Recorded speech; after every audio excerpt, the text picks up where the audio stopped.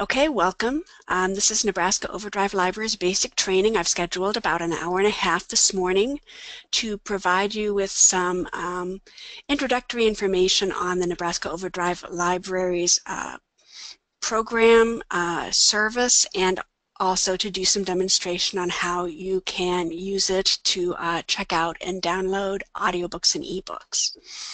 Um, I've got some uh, slides that I'd like to uh, run through uh, just because uh, I know some of you are uh, new uh, directors or new staff members at various libraries.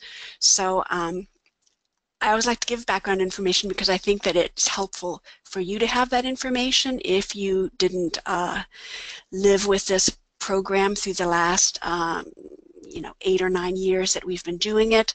Um, it's helpful when you're talking to patrons and they have questions about why something works. If you have some of the background information, sometimes you can, you can um, use that to answer their questions. So the Nebraska Overdrive Libraries Group is a group of Nebraska libraries that join together with support from the Nebraska Library Commission to share the costs of offering Overdrive downloadable audiobooks and ebooks to patrons. Um, this group of libraries or the initial participants uh, started talking about how we could do this in December of 2006 uh, and it wasn't until March 2008 that we actually went live with the Nebraska Overdrive Libraries website. At that time we had 25 member libraries and we actually uh, only had in our collection 496 downloadable audiobooks. So when we first started the group, our primary interest was downloadable audiobooks. Um, at the time, ebooks and ebook readers were not uh, as ubiquitous as they are today. So um, as you can imagine, uh, with only 496 audiobooks, it took about two or three days and everything that we owned was checked out. So those were some stressful uh, first few months. Uh, we purchased only audiobooks for the first couple years. Uh, it wasn't until July 2010 that the group decided to begin buying ebooks and offering those as well. So today we actually have 173 member libraries and uh, these libraries serve a combined population of over 687,000 uh, Nebraskans. We own uh, collectively over 10,000 audiobook titles and 22,000 ebook titles. And one question I'm always asked is if Lincoln City Libraries and Omaha Public Library participate in the group. Uh, the answer is that no, they do not. Um, those were the two uh, libraries in the state that had big enough budgets at the time. Um, libraries were starting to uh, look at options for offering audiobooks and ebooks that they were actually able to go it alone. Uh, so they were able to contract with Overdrive uh, themselves for a standalone collection for just their patrons. So Lincoln City Libraries has its own Overdrive collection. Omaha Public Library has its own Overdrive collection. And then we've got the Nebraska Overdrive Libraries collection, which is a group collection, consortium collection. Uh, it's helpful to understand how this group is funded and um, when you can see the initial cost of getting set up uh, with the Nebraska Overdrive Library's website, um, you can see why uh, no one other than Lincoln City Libraries or, or Omaha Public Library uh, was able to go it alone in terms of uh, contracting with Overdrive. This is why we had to uh, form a group. The initial cost just to set up the website was $28,000 and the Nebraska Library Commission paid that. There's also an annual maintenance fee uh, for participating. Um, initially, that was $12,000 per year, and that's what we paid annually from 2008 to 2015. And again, the Nebraska Library Commission covers that annual maintenance fee. Um, starting in 2016, this fee uh, uh, began increasing $2,000 a year annually, and that's what's projected to uh, be the case for the next five years. So we paid 14,000 in 2016, $16,000 in 2017, etc. So, so far those fees only uh, cover um, the website functionality. As far as actual content, um, that's an additional expense. And so our collection development budgets have always been made up primarily of the annual participation fees contributed by member libraries. Um, this current participation year, which started October 1st, 2017 and runs through at the end of September 2018, uh, we've got uh, annual participation fees contributed by member libraries of $121,204.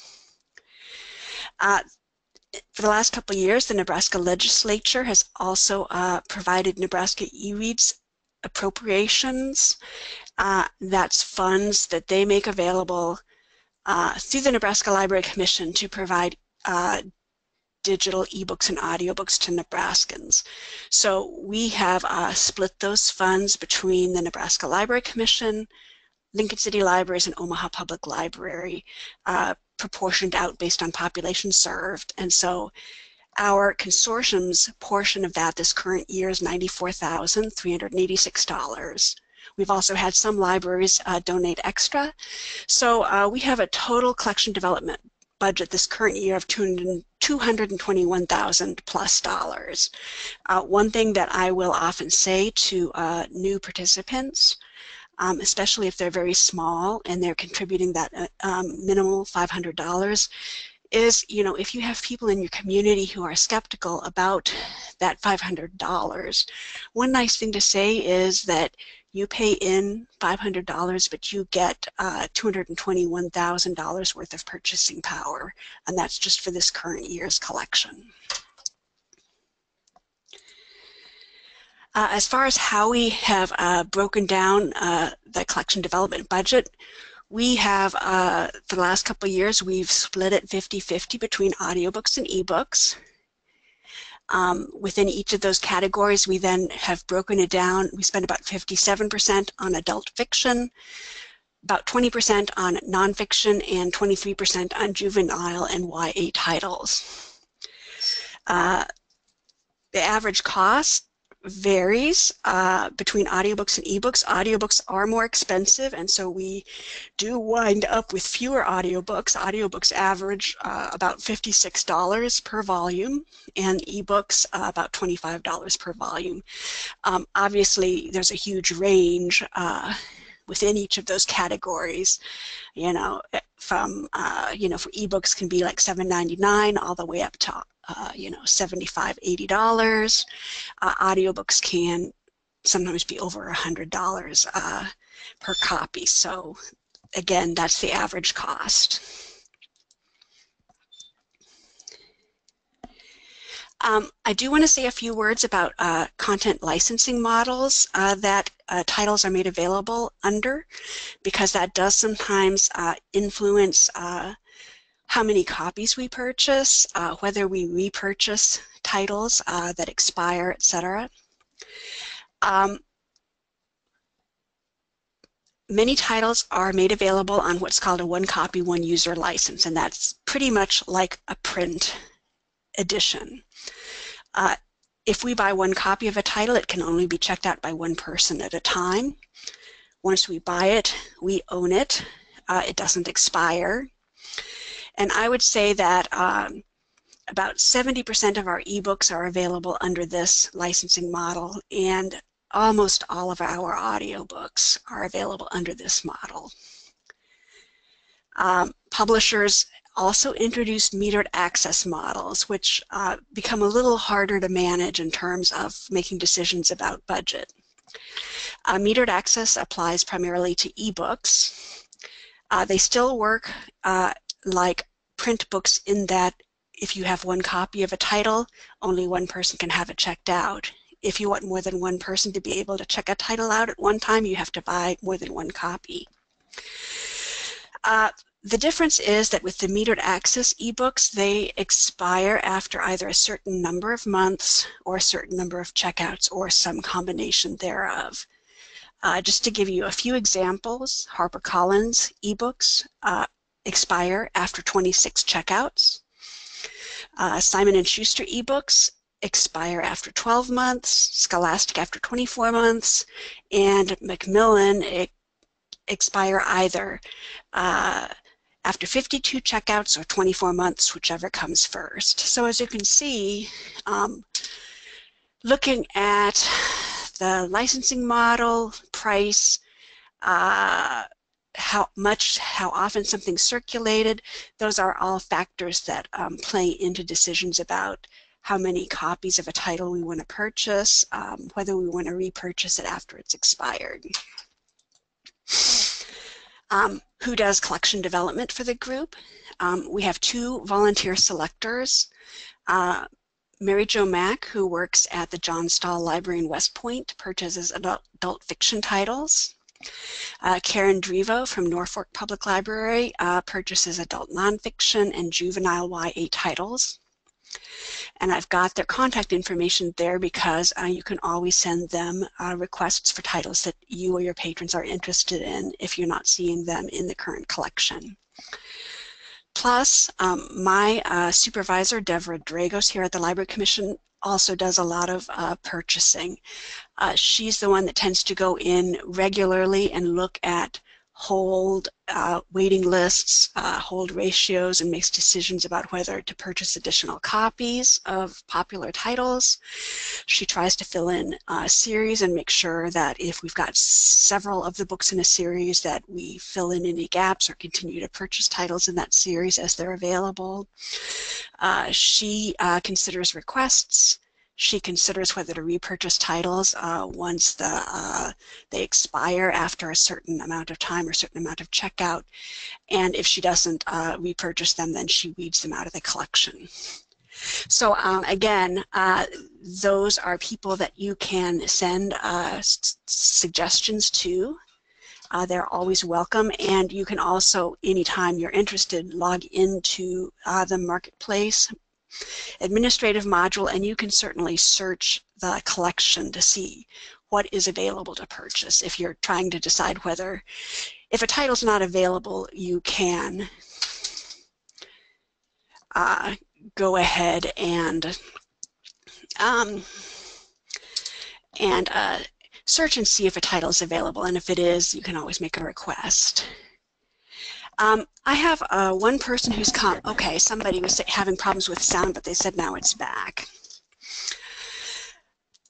Um, moving on, um, our group has voted on certain circulation policies. Um, we have someone who's reporting the sound is dropping in and out. I don't know if that's just one person or if other people are experiencing it as well. Um, if uh, other people are experiencing it, can you let me know through the questions? Thanks. Um, patrons can check out six titles at a time. Uh, we have a hold limit of three titles, so uh, a patron can have three titles on hold at a particular time. Um, and one reason we did that is because we do try to make repurchasing decisions or decisions about purchasing additional copies based on how many holds an item has on it. So, you know, we want people to be a little bit judicious about which titles they put on hold. Also, we've uh, established uh, lending periods that are available for the different uh, formats. Um, audiobooks can be checked out for either 7 or 14 days. Ebooks can be checked out for 7, 14, or 21 days we have a set default, a default checkout period of 14 days uh, for audiobooks and ebooks for the uh, Nebraska Overdrive Library site as a whole. That means if a patron logs in, doesn't do anything to change their own checkout period, just checks out an item, it's going to be checked out for 14 days. They have the option on a title by title basis to select one of the other uh, lending periods that we make available, or they can set their own account level defaults. If, for example, uh, you know you always want ebooks checked out for 21 days, um, you can change your own account default to 21 days. So I'll show you how to do that. Finally, a few words about file formats. Um, for ebooks, um, not every book is available in every format. Um, many books are available in multiple formats, so it's, I would say it's typical for ebooks to be available in uh, EPUB, Overdrive Read, and Kindle. So you often have three uh, choices uh, to choose between when you check out a book. Um, but again, it's not uh, not every title is available in all formats, so you do have to keep an eye on that if you have format requirements. Uh, EPUB titles can be downloaded and read on smartphones or tablets using the Overdrive app. They can be also be downloaded and read on a computer using Adobe Digital Edition software, and then from there they can be transferred to the sort of standalone e-readers, um, which used to be uh, more popular than they are now. Overdrive Read format uh, wasn't available when we initially offered ebooks, but it's something that Overdrive has developed. This format uh, can be read via a current web browser, and so there's no software, no downloads required. Um, one nice thing is that you can uh, download uh, to the to the browser cache um, one of these Overdrive Read books. So you can actually save that so that you can uh, read it when you're offline. Uh, I think Overdrive is the only, uh, or for it certainly for a long time, it was Over, Overdrive was the only um, vendor that was able to offer their ebooks in Kindle format. So um, if you do have patrons who are big Kindle users who have a Kindle device, uh, they will be able to get most uh, ebooks in that format.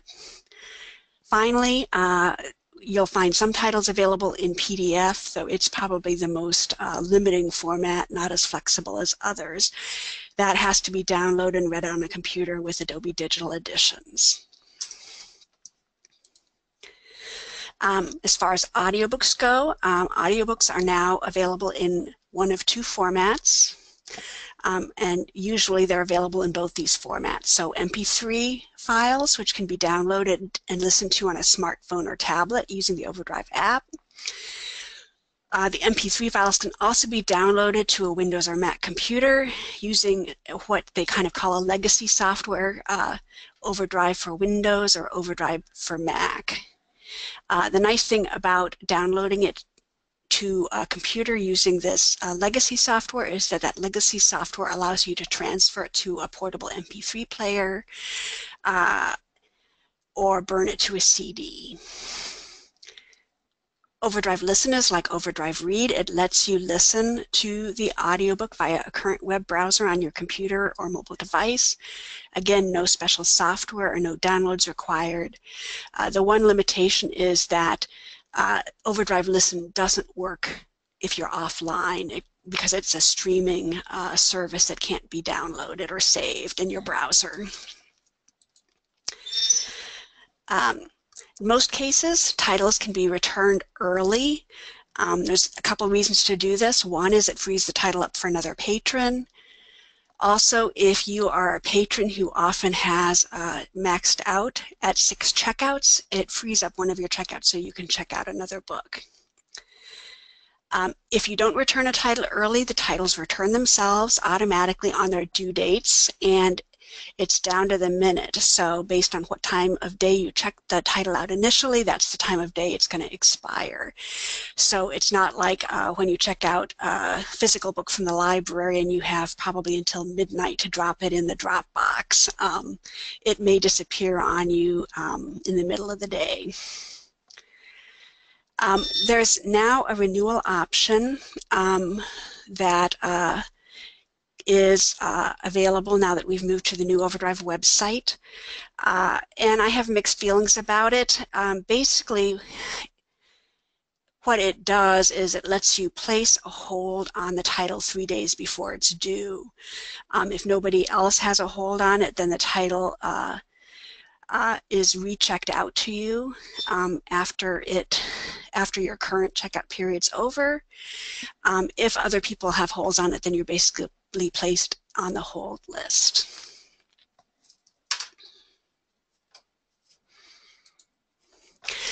Okay, um, I want to move on now to the actual demo. Um, before I do that, do you guys have questions about uh, the uh, anything on the uh, PowerPoint, any of that sort of background information? Please let me know.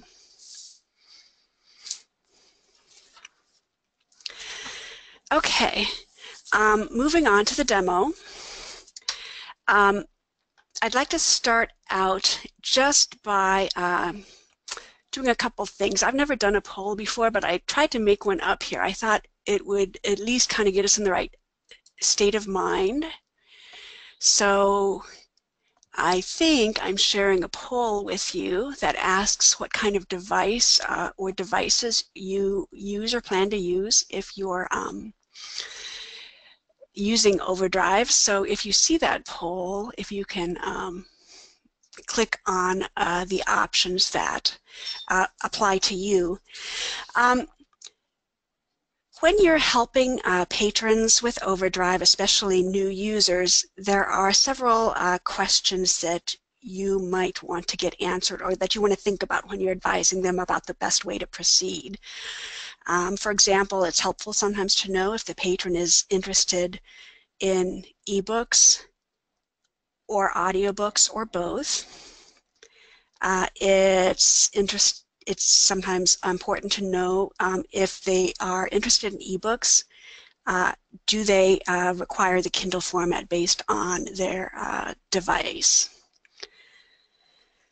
Again, what's the primary device they plan to read or listen on? What operating system is it running? Do they have more than one device that they want to be able to download their content to at the same time?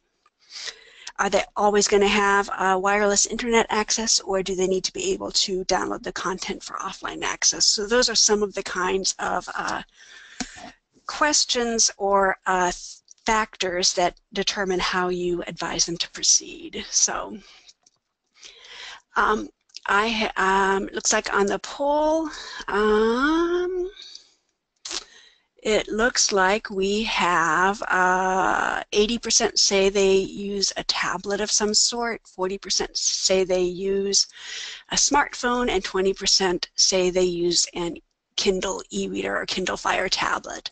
Uh, nobody says they use a standalone e-reader and nobody said they use an MP3 player. And that kind of jives with my sense of how it is nowadays. When we first started back in 2008, uh, it was almost exclusively e-readers and MP3 players. So um, things have changed over time, but of course, uh, there are some people out there who still use MP3 reader, re, MP3 players and e-readers. So what you as a library staff member sometimes run into is you get really used to and comfortable helping people with things like smartphones and tablets and Kindles. And then all of a sudden, um, after uh, months and months of not seeing one, someone shows up with an old e-reader or an older MP3 player and they're asking you how to use Overdrive on that old device. And so um, unfortunately, we still have to know those old methods as well. And so I'll try to, my, my goal is to cover that towards the end of this session. Okay.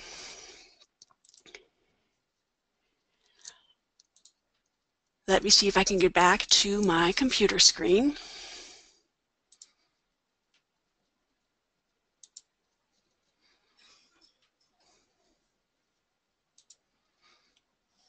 Okay, um, so we are going to start out by accessing the Nebraska Overdrive Library's digital collection on my Windows 10 desktop computer by typing, uh, or I've already typed it in, the URL um, in the address bar. So nebraska.overdrive.com.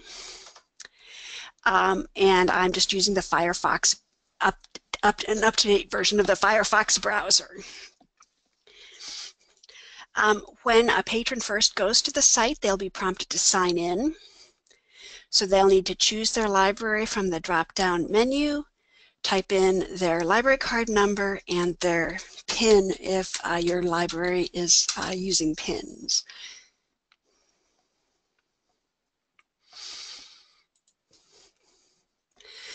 Um, they should be able to ask uh, the system to save their pass password. I tend not to do that on my computer just because I end up logging in and out with multiple people's passwords from multiple libraries. And so um, I don't want to accidentally stay logged into uh, someone else's account. Um, so when they log in, they uh, are on the Nebraska Overdrive Library's homepage. There are uh, several menu options at the top, which we'll review uh, including uh, help in the upper right hand corner. But what you see front and center are you see, uh, if you scroll through the page, you see seven collections that Overdrive has uh, highlighted here. So the first collection at the top of the page is the latest 300 titles added to the website. Uh, if you scroll down, you see a selection of books that appear on the Nebraska 150 book list that was compiled uh, by the Nebraska Literary Heritage Association in celebration of the sesquicentennial. Uh, you'll also see uh, read-alikes, uh, into the Water read-alikes, we've got Game of Thrones read-alikes, etc. So there are some sort of uh, pre-formatted collections that your patrons can browse. Um, now what happens, what tends to happen is that because the latest 300 added is at the top, it's what people see when they log in. Uh, they can see uh, six titles up front, and then they can click on the See All link and they can pull up a result list that contains all 300 of those titles. Because human nature is what it is, um, people tend to hit this collection really hard. It, we all want to see what's new, and new titles are usually uh, the titles that patrons are initially after. So what happens is that it's not unusual for almost all or sometimes even all 300 of these titles to get checked out in uh, a short period of time. Uh, last night when I was looking at this collection, only three titles out of 300 were available. All the rest had already been checked out. Uh, it looks like an additional order was placed since then, and so now uh, the first screen of 24 results are all available to check out.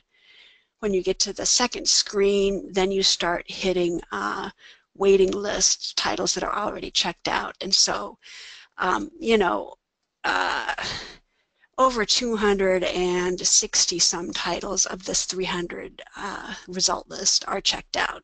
So that can be frustrating for patrons. And so one of the things I'm going to try to do in this demo is show you some of the other ways that you can uh, search for titles uh, to avoid that frustration for your patrons. So I'm going to go ahead and go back um, and I'm just going to quickly go through some of these menu options before we start searching.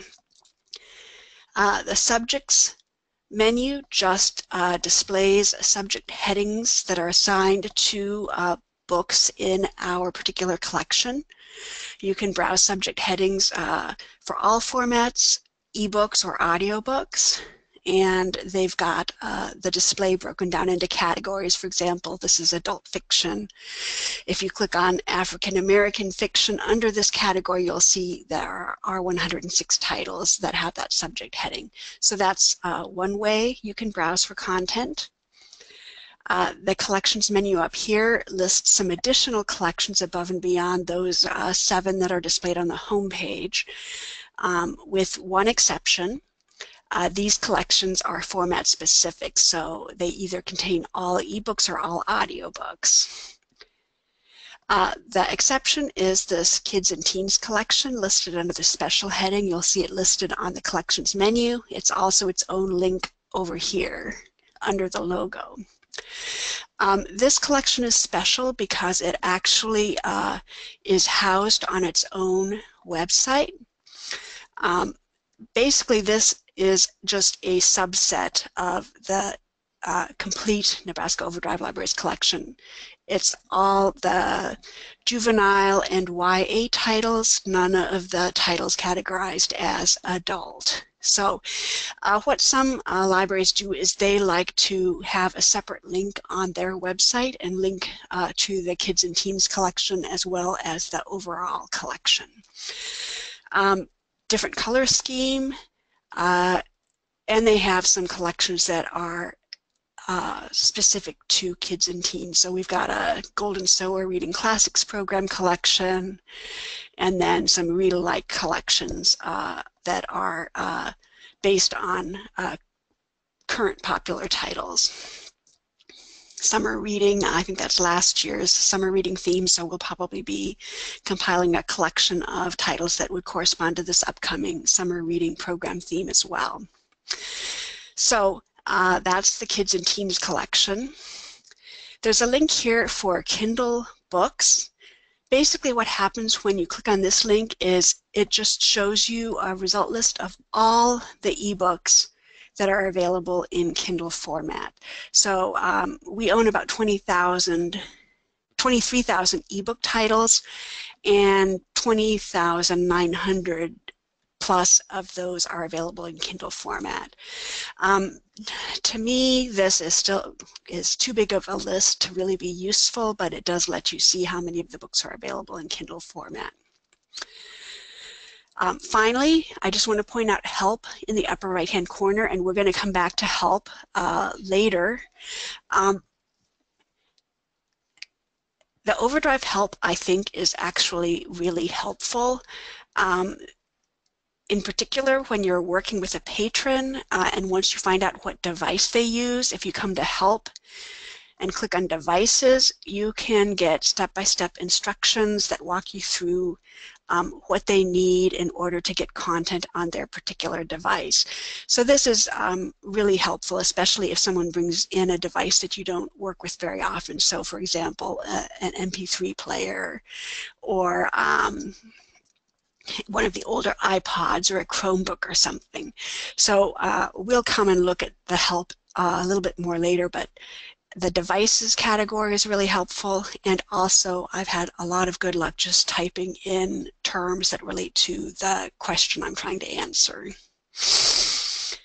Okay, as far as searching goes, we've got the search uh, icon that opens up a search box. Um, usually when uh, usually when I'm looking for a title, um, I lots of times I'll do sort of a combo author title search. This basic search is a keyword search. It searches for words in the title, words in the author field, words in the description, uh, etc. So if I have a very specific book I want, I sometimes type in the author's last name and the, a keyword from the title, and that brings up my book. Uh, you can also just type in an author's name, and so that's what I'm going to do for my first search here. I'm going to type in James Patterson. Whoops. And do that search and I have uh, 320 titles that match that search and they're displayed 24 titles per page. By default, uh, I see a grid display that just shows the book cover and a little bit of information about the uh, uh, title. I also have the option of toggling to a list display that provides a little bit more information about each uh, title, including the first couple lines of the description. So that's something you can toggle back and forth between. Um, here, uh, important information that you can uh, glean at a glance uh, would be the banner at the top, which they uh, call an availability banner and they have an action link down at the bottom. And the action link and the availability banner uh, always kind of go together. So for instance, the first three books are not available uh, at the moment. Somebody already has them checked out, so my only option is to put myself on the wait list. So it says wait list on the banner at the top, and my action link gives me the option of placing a hold. Uh, the fourth title is available, so that means that I can go ahead and borrow it. And you'll notice the little uh, ribbon uh, over on the right here is checked. That means I've actually added this title at some point in the past to a wish list. So any of these titles, you can add them to a wish list if you want to come back um, and uh, remember them uh, as something you might want to check out in the future. This fifth title, it says on hold. So I've actually, I'm logged into my account, so I've already placed this title on hold, and I can go to the page uh, within my account that shows my holds if I click on the action link. Uh, the eighth uh, book listed, it says borrowed, so I already have this title borrowed, and I can view it if I click on go to loans. So um, the other thing that you can uh, see at a glance is format. We didn't limit our search by format, so um, you'll notice most of these uh, have the ebook icon along with the word ebook. I don't think there are any audiobooks on this first page, but you'll see a little headphone icon and it'll say audiobook if uh, something's available in audio format. So the first thing I want to do is let's go ahead and place a hold. Um, I can do that right now if I want. I click on place a hold and I get a message that says uh, my hold position is 18 of 18 holes. Um, that sounds bad, but it's also important to notice that our library owns three copies of this, so it's actually more like um, I'm sixth in line for a particular copy. Uh, I also have a link that says I can go to manage my holds and if I click on that I will go to my holds page. Uh, here's the book I just put a hold on. You'll see I have another hold that I placed in the past. Um, it tells me what date the hold was placed. I can edit the email that the uh, announcement will be sent to when this book is checked out to me. So um, if I don't want it sent to my work email, I can change that email if I want. Um, if, the, if I've been waiting in line for a long time for this book and it looks like I'm about to get it, and I have a lot of things going on in my life and I don't want to um, have it uh, suddenly be available for me and I don't have time to read it, I can actually suspend my hold uh, uh, for a certain number of days. Um, you'll still move up in the hold list, uh, but it won't actually get checked out to you. So uh, you won't uh, you won't lose it if you're on vacation or busy with other titles. Finally, I can remove the hold if I no longer want to be on hold for a particular title. Going back to my result list, um, let's go ahead and look for an available title to check out. And since I already have uh, First to Die checked out, let's see if we can find a second chance. Now I could borrow this right now without looking at any more information about it. And if I just click on borrow, it's going to uh, check it out for me for the default checkout period for ebooks which um, if I haven't gone into my account settings and changed it is 14 days. Sometimes you're going to want more information about a book before you decide whether you check it out, so I've clicked on the title. Here you'll see that this book is part of a series and so you can actually click on the series title in order to uh, pull up a list of other books in the series that we own. You'll see the um, basic uh, format, ebook format. If you look over to the right, you'll see the specific formats that this book is available in. So it's available in Kindle format, Overdrive Read format, EPUB format. It is not available in PDF format. So this is this is fairly typical. The majority of our books are available in these three formats.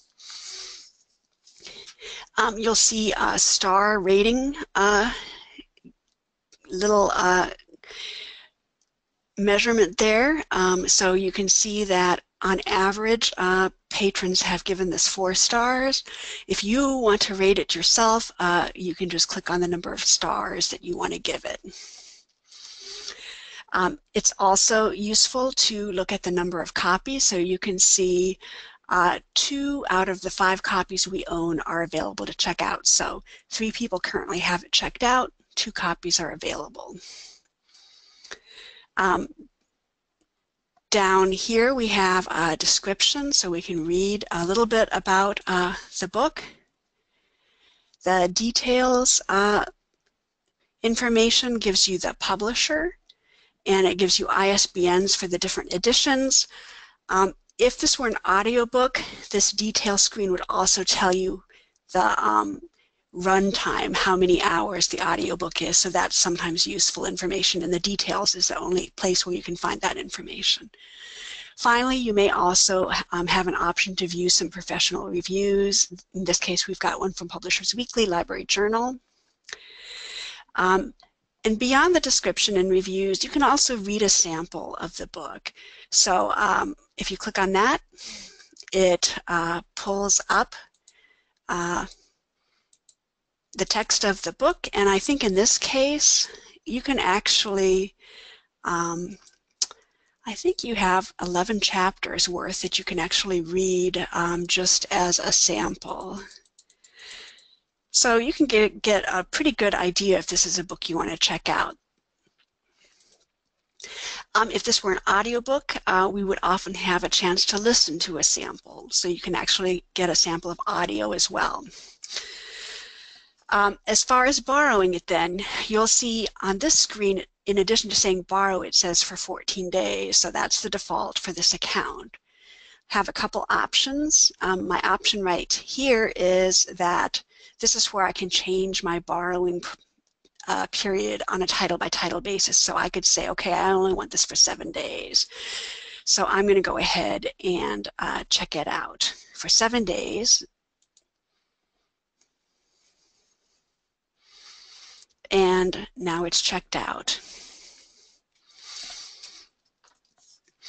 Okay, um, so that's, uh, we've done one search so far, we've placed a hold and checked out a title. Um, I'm going to go ahead and do another search. And uh, so I'm going to go up here, click on search, and this time I am going to do a really broad uh, subject search. So I'm going to type in the word dogs. What I'm actually looking for are, you know, I want one of, I'm looking for an audio book and I want uh, like a nonfiction uh, audiobook, the kind of book about someone and their dog, the heartwarming story of how much the dog means to them. So I'm looking for that kind of book. You'll see my general search for dogs retrieves 839 titles. Um, if you scroll through the list, you'll see some of the titles are for kids, some of the titles for adults, uh, some of them are ebooks, some are audiobooks, uh, some titles are fiction and they obviously don't have anything to do with dogs. It's just that the word dogs appears in the title. So I've done a really broad search and um, I've got a lot of titles in my result list that don't match what I'm looking for. So I can go ahead and start filtering my results. And this is, this is actually why I don't use their preset collections very often because you can do a search and then you can really uh, whittle it down to what you want. So I'm going to start applying some filters right here. So the first filter I'm going to apply is I don't want to see titles that I can't check out right now. So I'm going to say show me titles that are available now. I also um, don't want kids titles, so I'm going to go back. You'll see my available now titles filter has been applied, so I'm going to go ahead under uh, audience and I'm going to say only show me adult titles. So now I'm down to five, 403 results, so I've cut my results down by half already. I also said that I wanted an audiobook, so I'm going to come down to audiobooks and in this case, uh, it's saying I've got uh, 35 titles are available in the listen format, 35 in the MP3, so I'm guessing it's the same set of 35 titles, so I'm going to just go ahead and say MP3 audiobook format. Down to 35. I also wanted uh, nonfiction. I don't want this, uh, uh, for example, this uh, Henning Mankell Dogs of Riga type uh, fiction book. So I'm going to go ahead and say under subject, I want nonfiction. So now I'm down to 20 titles. All are available. All you can see are audiobook. Um, and they are looking more like what I had in mind. So um, I'm going to go ahead and just borrow the title from here. Okay, so I now have that audiobook checked out. I'm going to go ahead and do one more search before we start uh, talking more about downloading this content um, because I want you to be aware that there's an advanced search option. To get to the advanced search, you click on search and then you'll see down here under the search box you've got the advanced link. Um, on the advanced search page, you can type in uh, title words and author names, but you can also just select criteria from these drop-down menus. So again, um, this is one of the reasons why I don't use their pre-formatted collections as much because I can kind of format my own collection uh, this way. So I like the idea of their latest 300 titles added, their you know front and center collection on the home page, but again, sometimes that content all gets checked out. So I can choose my own date added uh, criteria. So I could say something like, okay, I want to see titles that were added in the last six months. I am looking for, in this case, let's say Kindle ebooks.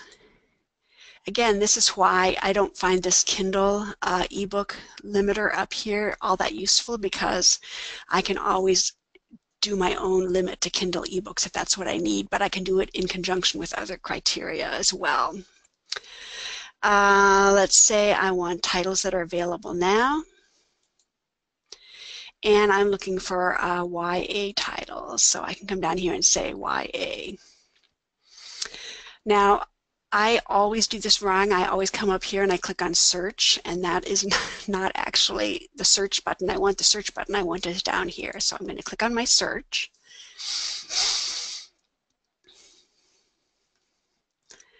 And you'll see in this case, I've got 70 results. They're all YA books available in Kindle format. And looks like one uh, book just uh, snuck in that was, uh, I'm guessing it was just checked out very recently. When I uh, did the search earlier, none of them were checked out. So once in a while, uh, uh, information doesn't quite get caught up.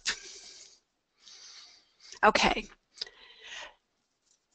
The next place I want to go to is the My Account area of your uh, account. So I'm going to open this My Account area and you'll see I have several pages I can go to. Loans, holds, wish list, rated title, history, and settings. I'm going to go ahead to the go to the loans page and notice as soon as I'm on one of these account settings pages, um, all my menu options show up along the top as well, so I don't always have to use the drop-down menu. So uh, this shows I have five titles checked out. I can borrow one more. Um, in each instance, it tells me how many days I have left in my checkout period. Um, expires in 14 days, expires in seven days. Um, you can see what uh, options you have in terms of reading, downloading, and listening. So uh, the audiobook we just checked out is available to download in MP3 format. I can also listen to it in my browser. Uh, the Second Chance uh, title is available in Kindle format. I can read it in my browser or download it in EPUB format. Um, you'll notice under each title I have a return option. Uh, that return option will actually go away if I either download uh, the uh, MP3 or EPUB format or if I send the uh, uh choose the read now with Kindle format. Um, once I uh, choose one of those download options, uh, from that point on, I'm going to have to actually return the book through the software I've used to download the uh, content. So um, right now I can return all of them from the screen if I want, and after we uh, do some downloading, we'll come back and see how that uh, option goes away. Um, let's move on. Uh, we already looked at uh, the holds option, so you can always go back to your holds and view them there. Uh, wish list is just uh, nice. Um, for instance, you can only have three books on hold at a time. So if there's another book that you know you want to read, but it's got a lot of holds on it and you don't want to use up one of your holds waiting for it, add it to your wish list and then at some point down the road, um, after time has passed, after it's not so popular, um, and you're looking for something to read, you can come to your wish, wish list and it's nice because you can see all titles on your wish list and you can also toggle over to see just titles that are available to check out right away. So that's kind of a nice way to keep a running list of titles um, for future uh, checkout. If you've rated titles, you can see titles you've rated. Um, history is a fairly new feature. Um, for years, patrons have asked for a functionality that would keep track of titles they checked out.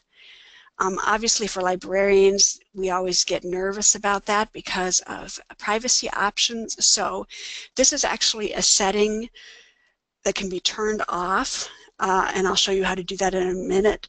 But for those patrons who want uh, sort of an automated list of everything they check out, uh, this history list will do that for them unless they choose to uh, deactivate it. So um, titles can't titles, once you check them out, they're automatically added to the history list. Um, if you go through and you are, let's just go back to the home screen and go to uh, one of these pages. You can also manually add a title to history, so maybe you already read it in print format or from another service, but you still want to keep uh, track of the fact that you read it. You can always manually add something to your list without checking it out. Finally, the last uh, account screen I want to look at is your settings screen. This is where you can set your personal uh, lending period defaults if you want to have them be different than the 14 days that we've set uh, for our service as a whole. So if I know I always want to check out ebooks for 21 days, I can switch uh, there to 21 days and probably leave my audiobooks at 14. I'll still have the option of changing them on a title by title uh, basis as I check titles out, but I can, um, again, like I said, I can set defaults for my account. This is where your patron can turn off the autom um, sorry, this is where they can turn off that um, automatic uh, add to a history list if they don't want to keep track, so they can just toggle that off. Um, or uh, they can leave it checked and they will automatically uh, have a record of what they've checked out. Um, by default, automatic hold checkout is uh, turned on. That means that when an item becomes available for you, it's checked out to you right away and you get an email notification.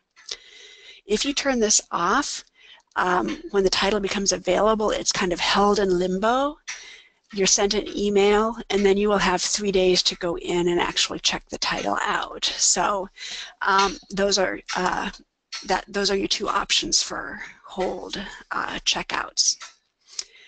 You can also set a filter on your account in general. Um, right now, uh, by default, you're viewing titles for all audience levels. You can go in and you can specify uh, one or more than one. Uh, so maybe you want to say, I just want to see juvenile and young adult titles, which of course then is like the kids and teens collection. Um, you'll see we've got general adult and mature adult. Um, mature adult, as you probably can guess, doesn't mean old adult. It means uh, uh, mature content or uh, erotic literature. Um, a couple times we've had patrons for some reason they've gotten into their settings and they've uh, somehow mature adult was set as the filter and so they go and they uh, you know, they do their searches and all they're getting is adult, mature adult content and they can't understand what's going on. So it's always good to be aware that uh, once in a while someone gets uh, one of these audience filters turned on that they don't mean to. That can affect how many books they're getting in response to a search. This Kindle preference uh, setting is actually a little bit odd. Um, what it, it doesn't limit your searches to only items that are available in Kindle format. What it does is that if you check out an item that is available in Kindle format, it will only show you the Kindle option. It, it basically uh, takes the download EPUB uh, option away. And I think the reason they've instituted this is there are times when patrons who have a Kindle e-reader, for instance, uh, check out an item. It's available in Kindle format, but they accidentally click the download EPUB uh, button. And basically that locks in that EPUB format for them to, throughout the checkout period. And if they can't, uh, if they can't read that format, they don't have the right kind of device to read that format on, they're kind of out of luck. They have to return the title and hopefully it's available still and they can check it out and then get the Kindle format, but if it was something that there's a long hold list for, they're kind of out of luck. So I think that's why this option was instituted. There are a couple display options that you can turn on, a high contrast option, and then they have a dyslexic font that is supposed to be easier for people um, who have dyslexia to read. So those are a couple other settings there. So questions about, um, any questions about uh, searching or account settings? If not, we're going to move on to uh, actual read and listen options. How do you actually uh, start using this content. Um, the first option I want to talk about is the read now in browser and listen now in browser options. So we are on a Windows 10 computer using the latest uh, version of Firefox. Um, so uh, this option actually will work on lots of different types of devices. So um, your iPad has the Safari browser. Your, um, you know, if you've got an Android device, there's a browser usually on your Android smartphone or tablet that will uh, support this reading and listening option. Um, the Kindle Fire tablet has the Silk browser that will support this option. So this option is, um, like I said, very easy. You don't have to download special software. All you do is click Read Now in Browser. So for the help, for instance, I can click Read in Browser.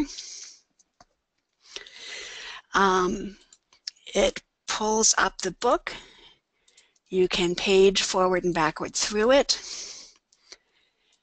Tapping in the center of the screen pulls up menu options. You've got the uh, progress bar that you can drag you also have some menu options up here, so I can switch between uh, one column and two columns. I can search for a word within the book. I can bookmark a page if I want to. And then here I've got, um, I also have the search option. I can go through and look at how many chapters there are, jump to a different chapter. If I've placed bookmarks, this is where I can see those bookmarks and go back to them if I want. Um, reading settings lets me change the size of the font and it lets me uh, specify a different look for uh, the uh, background color and font color. It lets me choose different fonts. Finally, um, if you'll remember, I said that the read in browser uh, Overdrive read format is uh, available for offline access. So this is where you would um, download it for offline access. So you click on Start Download. and you'll see it says it's downloading the book to your browser. Um, if you want to be able to find it in the future, um, you would want to uh, bookmark it. So, uh, you know, I can bookmark it, and then when I don't have internet access, if I want to uh, read it again, I would come and look at my bookmarks, um, find it, and go to it. So that is how you do the overdrive read option. Um, overdrive listen works in a similar way. I don't know if you'll be able to hear this because I've got a headphone on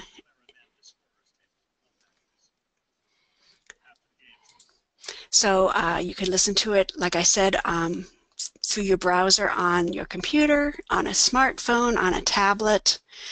Um, you've got uh, an option to change the speed. You can make uh, the dialogue faster. You can set uh, sleep timer. There's a bookmark option, and again, you can jump between chapters. Um, if you tap or click in the center um, of the book, you get simple controls and the option to jump forward and backward 15 seconds. Um, the one option you don't have, as I said, with the, the listen in browser is you don't have the option of saving it for offline access, so you always do have to be connected to the internet to use that. Okay. Um, now I need to get um, my camera set up here in a, a minute. Um, I want to go ahead and talk about the Kindle option. Um, so let's check out the help, the Kindle format of the help. So um, and I just want to point out the return option is still available here. So I'm going to go ahead and say read now with Kindle.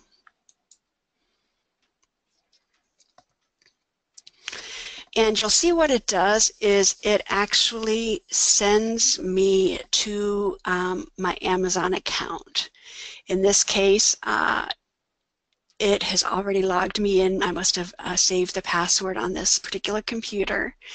Um, so if your patron has a Kindle device, or if they have downloaded and set up a Kindle app on something like their iPad or their Android phone, they would have had to do that through their Amazon account. So they should have an Amazon account that they can log into. Um, so now it says get library book and deliver to. My default device is a Paperwhite, but you'll notice this is a drop-down menu, and so um, we have put the Kindle app on our iPad, and so I could send it to that app. Uh, we have a Kindle Fire tablet, so I could send it to there as well. So there are options here. I just want to send it to the Kindle Paperwhite. And let me just see if I can bring up my camera here and get it so it works. Um, what I want you to do is just watch. So the uh, Kindle Paperwhite uh, is connected to the Wi-Fi here at the Commission. So when I say get library book,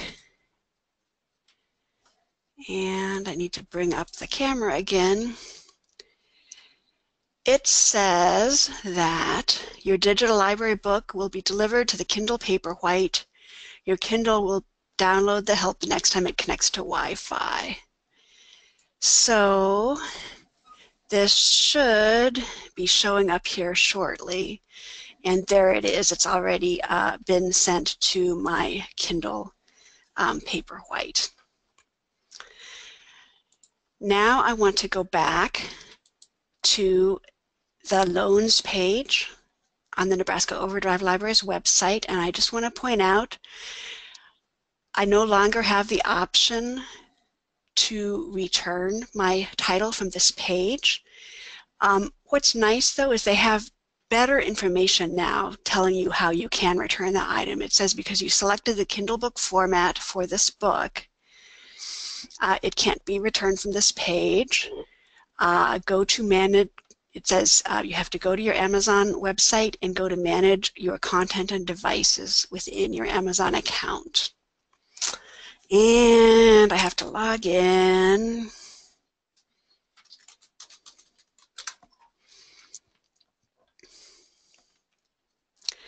And so it took me to the Manage Your Content and Devices page. But if you have to walk a patron through how to find that, if they go up to the where it says hello, their name, account, and lists, uh, they can also find that right there. So you'll see here's the help where it's borrowed. And if I want to return this title, this is where the return this book option is. So I can say return, are you sure you want to turn this book? Yes. Okay, and you'll see the book has already uh, been uh, removed from my uh, Kindle Paperwhite. And if we go back to this screen and I refresh, it's now gone off my loans page as well. Okay, so um, we have uh, gone through a couple options for reading, but now I want to talk about um, how you would get it on uh, uh, a device like uh, tablet. So we are going to talk a little bit about the Overdrive app. Um, this is probably the way most people uh, access um, overdrive content uh, these days. So let me get the camera set up again here.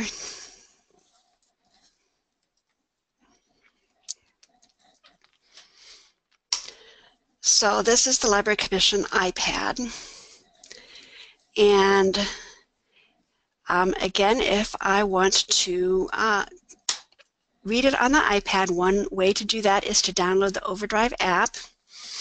Um, the Overdrive app is available um, for iOS operating system devices. It's available for Android devices, Windows 8 and 10 devices, Kindle tablets, and Chromebook. Um, and just to uh, show you how useful help is, if you actually are in your Overdrive account and you click on help um, and you go to categories right here, one of the categories is the Overdrive app. And so you will get a lot of information um, and it will drill you down based on your operating system. So I've got an Apple device, and it will provide information um, on borrowing titles, getting started with the Overdrive app, etc. Um, it will tell uh, you where you can get the Overdrive app, either from the Apple App Store, or it points you to an Overdrive app page that uh, provides information on and links to um, all the different versions of their software that they provide. So it takes you to the App Store, it lets you download Overdrive for Mac, Google Play Store, um, etc. So you've got all the links you really need to point you where you need to go within help. So um, obviously on the Kindle Fire, I'm sorry, I'm sorry, sorry. Um, on the iPad, um, you can go to the App Store and search for Overdrive, find the app, download it, and install it. Um, the first time you, when you first download and install the app and go to open it, you are going to be prompted to sign into the app. And this is, I think, a little bit hard to um, explain, but um, you're going to be given three options for signing into the app. You can sign in with a library card number, which your patrons already have, a Facebook account, or an Overdrive account. Um, the Overdrive account is not necessarily something that patrons will have already. It's something that they create themselves and there will be a link right by um, where they're given the option of signing in with an Overdrive app saying if you don't have an Overdrive app, then sign up for one here and it'll walk through the, them through the process. It requires an email address and then the patron chooses their own password. So any of these three methods of signing into the app will work. Um, my own preference is to use the Overdrive account, even if that means the patron has to create one more account. So again, it's probably not going to be the end of the world if they sign in with their library card number or their Facebook account, but there are, um, in some cases, for some people, there will be advantages to using that Overdrive app. So that is, um, that's kind of my recommendation if you catch them ahead of time. The most important thing to be aware of, though, is that if a patron wants to access their Overdrive uh, ebooks on more than one device at a time during the checkout period, for instance, in my case, I've got an Apple iPhone and I've got a Kindle Fire tablet. I want to be able to check out an ebook and access it on either of those devices. I've downloaded the Overdrive app to both those devices so I need to make sure that when I log in, when I initially sign into the app, I sign in using the same method. So I need to sign into both Overdrive apps using my Overdrive account. If I sign in on one using my Overdrive account and the other using my library card number, um, I download my ebook to one, I try to download it to the other, and it says, eh, you can't, um, this is uh, basically this app is uh, tied to a different user than the app that you already downloaded this to. So that's the most important thing to remember when someone's downloading and setting up the app. Okay, so I'm going to go ahead and open it.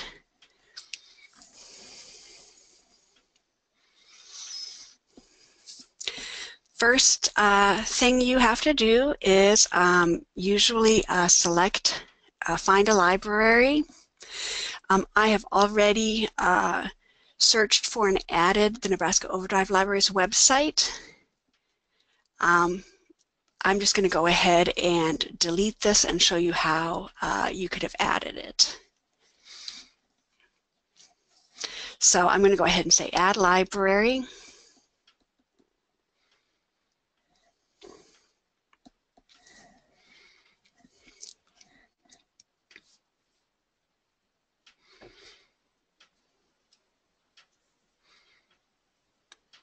There we go. Add library.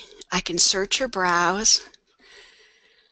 I'm going to go ahead and type in the library that my card is associated with, Chadron. Click on Chadron. It says Chadron uses the Nebraska Overdrive libraries. Uh, collection, and it takes me to that website. You'll also notice that it's automatically added that library to my list of libraries.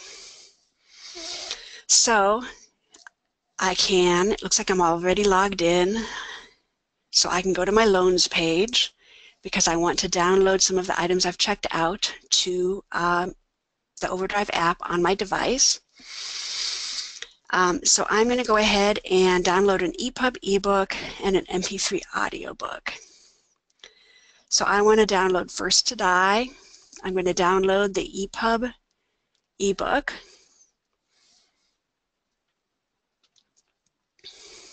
And you'll notice that uh, my return options already disappeared.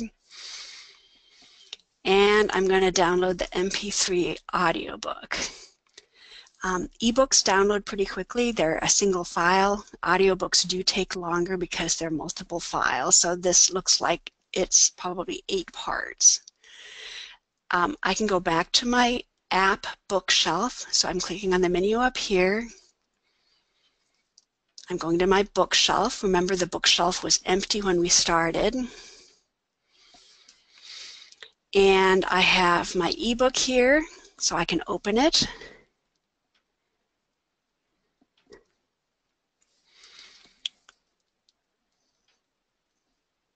And I can tap through to read it. Um, again, if I click in the center of the book, I get menu options that let me change font size, brightness. Uh, I can go to settings and uh, make some changes in layout. I've got chapter options and uh, bookmarks up at the top. If I want to go back to my bookshelf, I can do that using the menu in the upper left-hand corner. Uh, and let's see if enough of the audio is downloaded. Uh, it looks like it's still trying to download. But you can see it comes up. Um, you'd hit play. Um, it's going to take a while, it looks like. But anyway, so now I can listen to it on my tablet. Um, if you want to check out, if you want to return a title, you can no longer return it from the loans page in your Nebraska Overdrive Libraries account. You have to return it from the Overdrive app. The way to do that is if you press and hold on the title on the bookshelf, you're going to get a return to library option and it will ask you if you want to return it to the library early and delete it from the device. And so if you do, you can click return to continue. I'm going to just cancel it right now because I don't want to return it. And the same will be true with the audiobook. Let's just see if the audiobook will play now.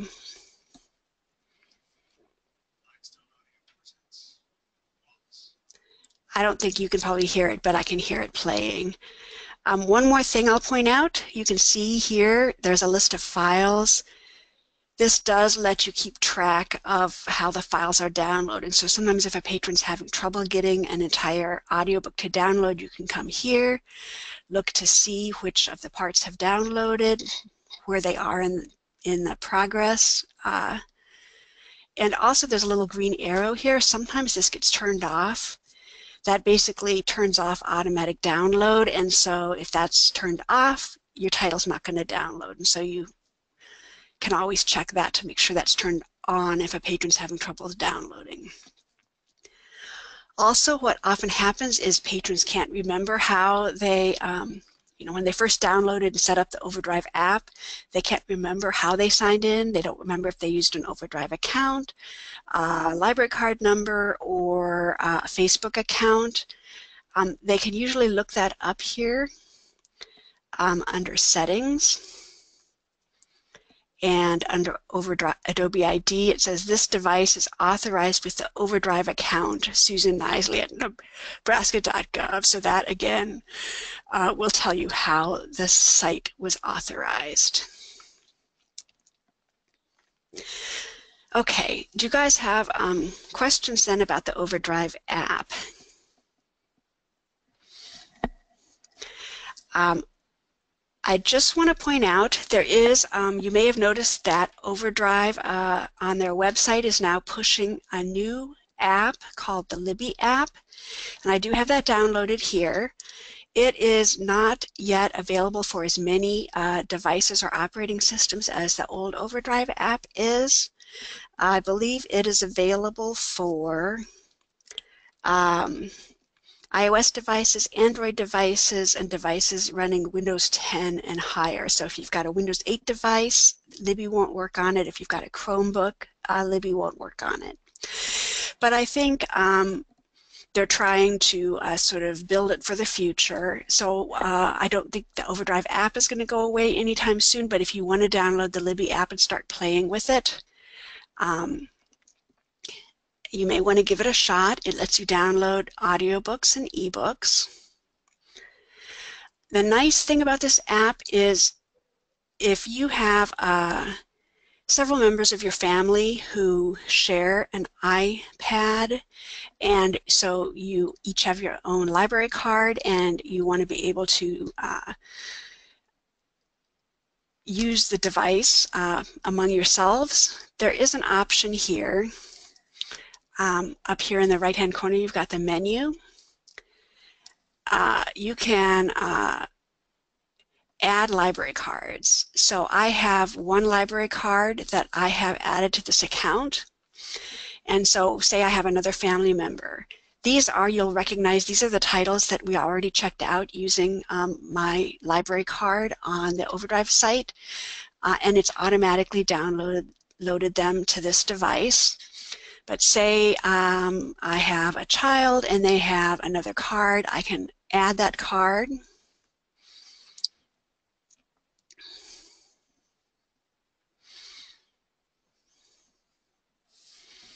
So it's going to make me walk through this process again.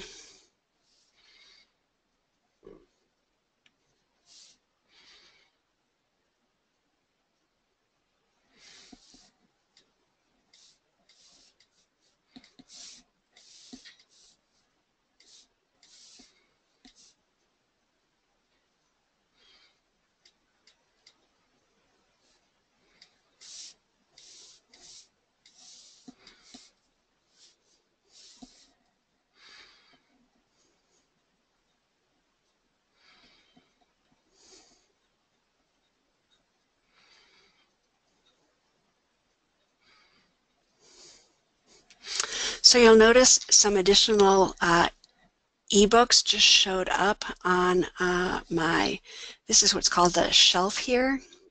So that Libby app shelf um, is combining uh, the ebooks checked out under both of the cards that I have added to this.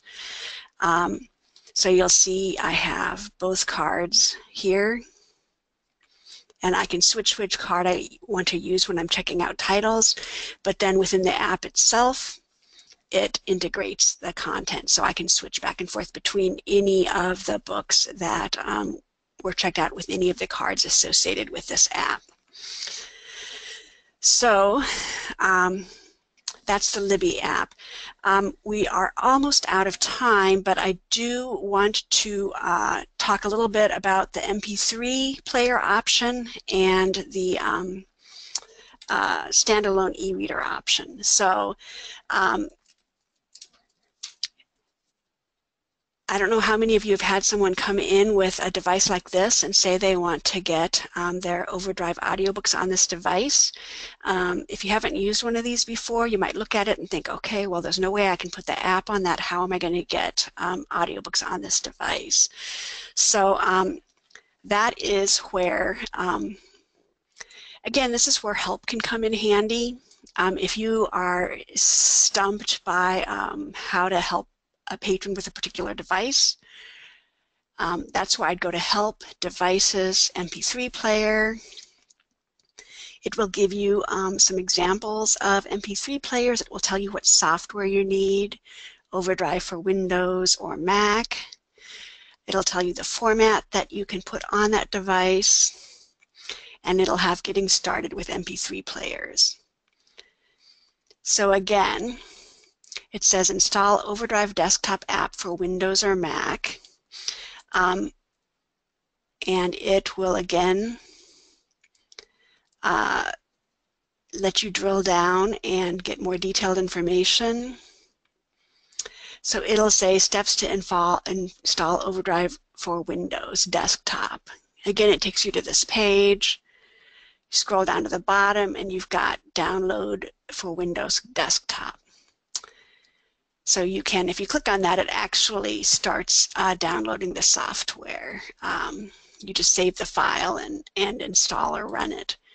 So I already have that software installed, obviously. So I'm going to go ahead and uh, say download MP3 audiobook. And I have to do this on a computer. Obviously, I can't do it on the little MP3 player itself.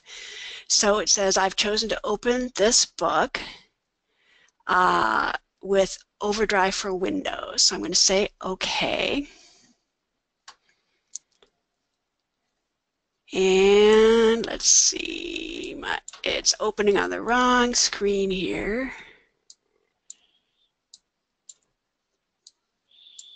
Shoot.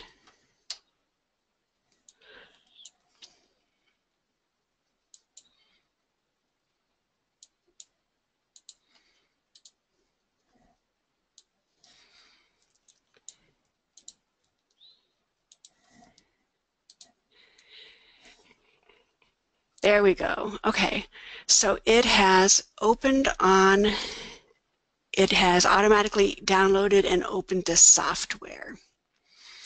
So I can open it and play it on the device itself, or I can transfer it to the MP3 player or burn it to a CD. So I'm going to click on transfer.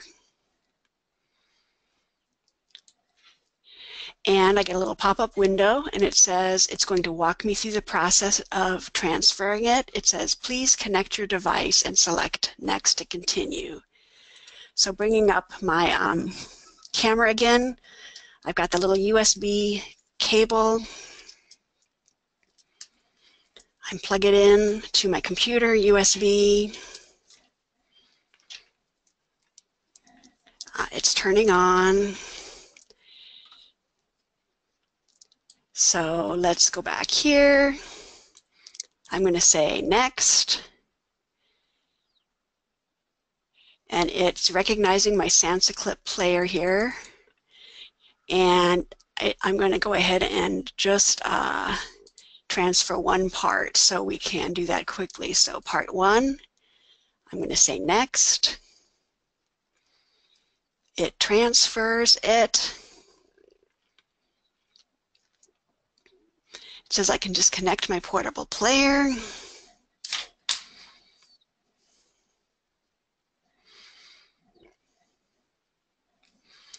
And hopefully your patron knows a little bit about how to use their device, but I,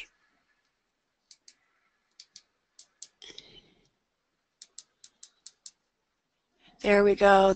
There's uh, Kathryn Stockett is the author, and I go down and the help is available. I just did one part, but I can play it and listen to it then on my little um, MP3 player. Questions about that? Okay, then um, we've just got one more uh, demo to do, and that is um, trying to get an ebook onto a standalone device uh, like uh, what we have here at the Commission is a Nook Simple Touch. And again, um, these used to be pretty popular. Um, they're not as uh, common now as they used to be because lots of people have tablets and smartphones. Um, but uh, this uh, device, it's got internet access, but the internet access only lets you buy content from um, the Barnes & Noble store, or that's the way it's worked in the past. So if you want to get an ebook on here from someplace else, you have to download it to your computer with Adobe Digital Edition software and then transfer it. Um, so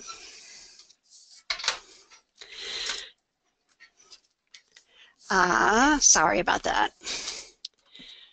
We are going to, let's try to download uh, Second Chance. So I'm going to download EPUB and um, I've already downloaded the Adobe Digital Edition software onto my computer. So what's going to happen is it's going to say, do you want to open this with Adobe Digital Editions?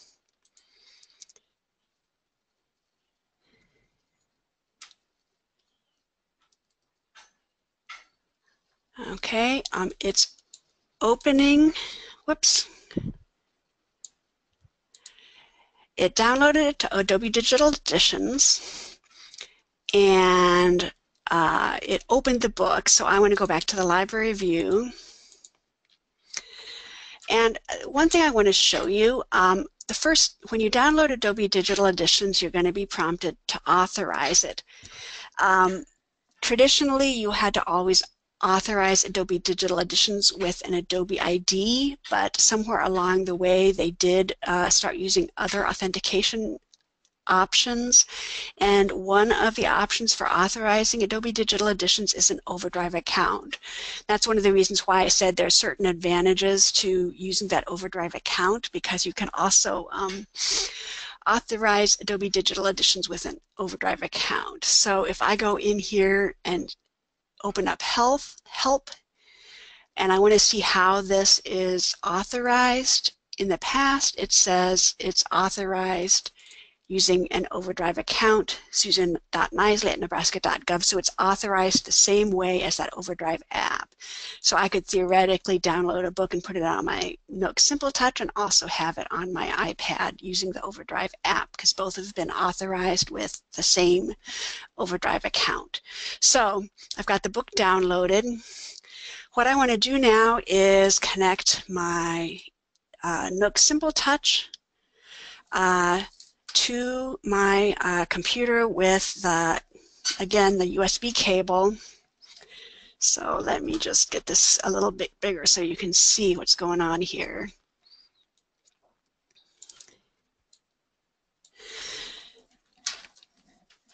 Uh, so I just need to connect it here.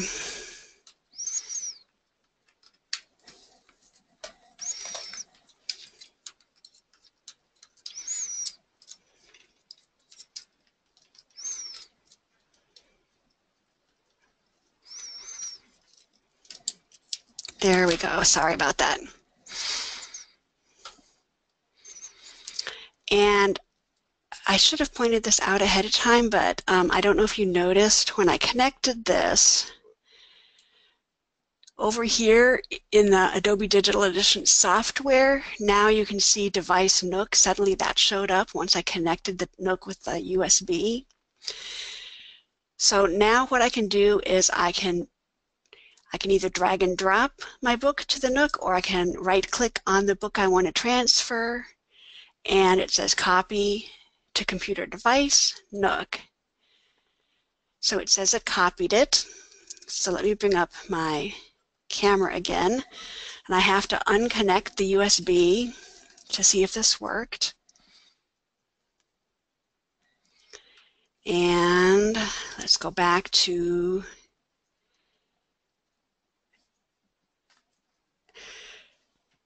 the device, go to library, and you'll see second chance is there. So it is now transferred to the standalone device.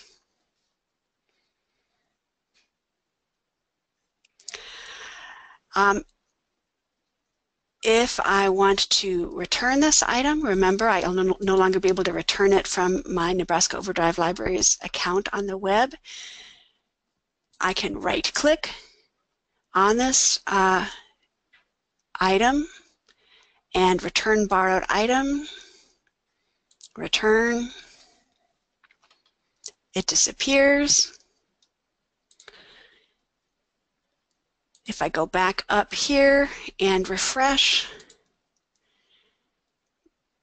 you can see that it's no longer checked out to me. So um, that is that. Um, that's the end of the content that I had planned for you guys. Um, do you guys have questions for me before we wrap things up?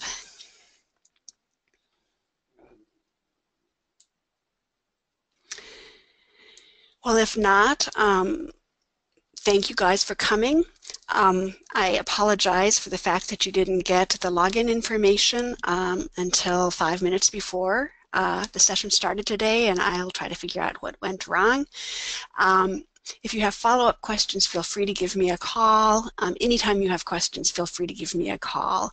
Um, and I will actually um, later today put up a copy of this recording so if for some reason you want to go back and review any section or if you've got other staff members that want to watch it, it will be available later for review.